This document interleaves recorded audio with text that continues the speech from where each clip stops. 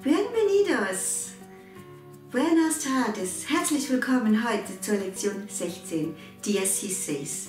Seit vier Monaten habe ich jede Woche für euch ein Spanisch-Video hochgeladen und ich habe euch auch versprochen, es sollte immer alles sehr einfach sein und ich hoffe, ich habe euch damit auch nicht überfordert.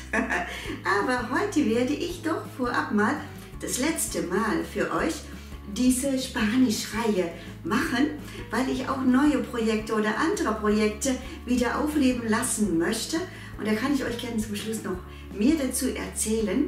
Und auf jeden Fall, heute nehmen wir noch mal die ganzen Fragesätze durch, teilweise als Wiederholung und auch die Wochentage habe ich heute noch mit reingepackt. Wir fangen auch gleich damit an.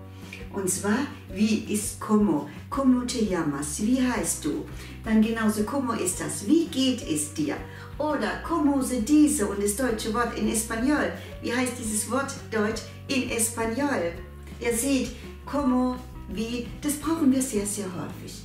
Dann habe ich woher, ist de donde, de donde eres, woher kommst du?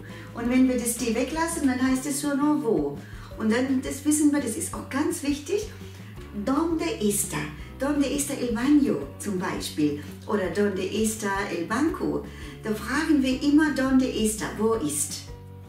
Und dann habe ich auch notiert, was. ¿Qué es esto? Das habe ich euch ja auch schon mal gesagt. Was ist das? Oder ¿Qué haces? Was machst du? Das meinen wir auch in beruflich. Oder ¿Qué tal? Oder ¿Qué pasa?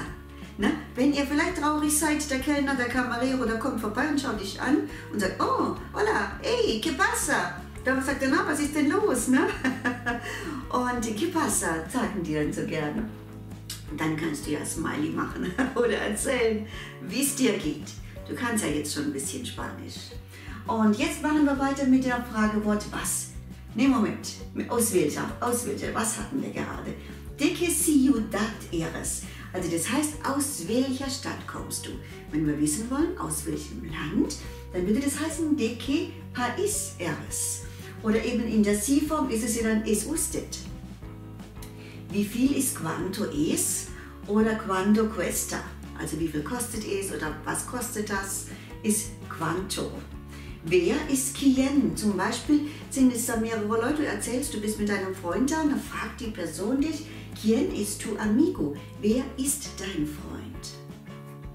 Und dann weißt du ja, was du sagen musst, haben wir alles in den Lektionen durchgenommen, wo du nochmal nachgucken kannst.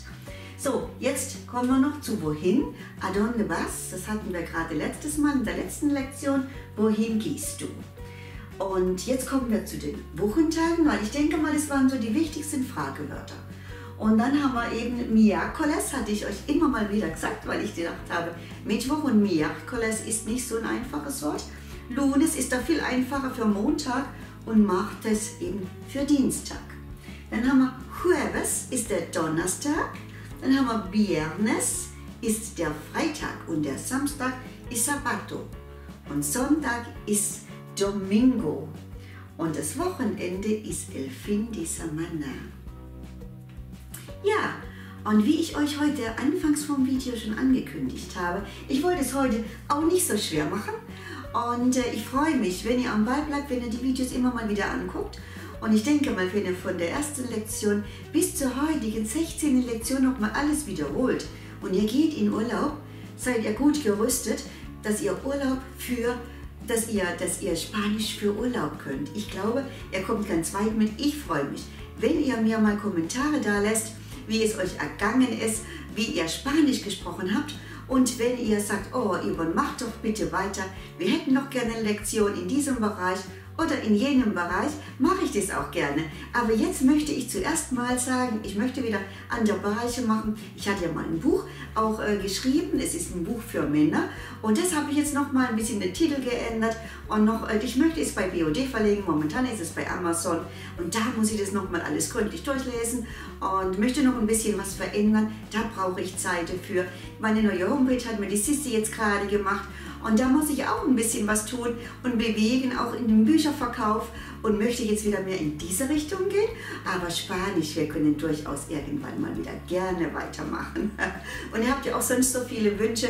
Ihr magt auch immer gerne, wenn ich sage, gut, ich bin ja jetzt nicht irgendwie professionelle Psychologin, aber ich weiß ja selber, wie ich im Stress bin und mache dann wieder mal so ein Meditationsvideo und ich weiß, wie sehr euch das gefällt. Also werde ich in anderen Bereichen auch gerne mal wieder Videos machen. Wir sehen uns auf jeden Fall.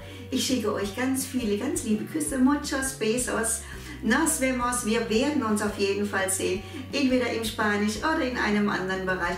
Und ich wünsche euch ganz schöne Zeit. Drücke euch ganz herzlich und sage Ciao. Adios. Bis zum nächsten Mal. Ciao.